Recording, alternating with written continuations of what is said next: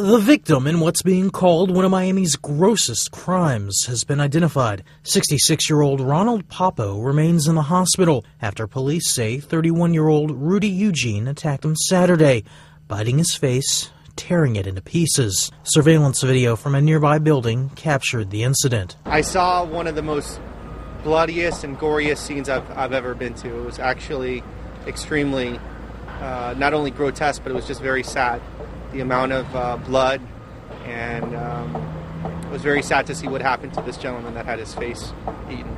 It's not clear what led Eugene, seen on the left, to attack Poppo, seen on the right. Both men can be seen near a busy highway as the attack begins. Later, after police arrive, an officer fatally shoots Eugene. Once the officer discharged his firearm and, and, and shot the subject, the subject growled at him and continued to, to maul the, the, the victim.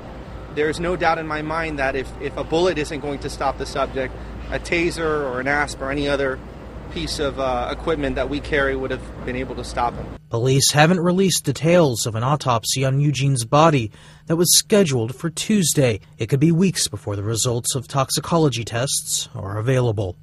Matt Small, The Associated Press.